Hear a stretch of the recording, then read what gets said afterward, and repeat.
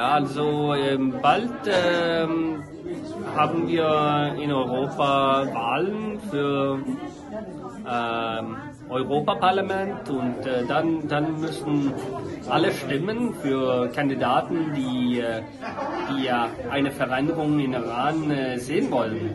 Das ist am ersten. Äh, zweitens ähm, muss man ähm, also Politiker national unterstützen, die eine Veränderung in die Beziehungen zwischen der EU und äh, die Islamische Republik sehen will. Äh, also ich glaube, es gibt immer noch Länder, die, die nicht die Potenzial in eine freie zukünftige Iran äh, sehen kann.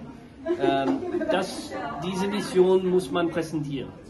Also man muss nicht nur protestieren, aber eine, eine andere Vision, eine Vision für eine freie Iran zu präsentieren. Das, das ist sehr, sehr wichtig, sodass Politiker, europäische Politiker nicht ähm, Angst haben für diese notwendige Veränderung in Iran.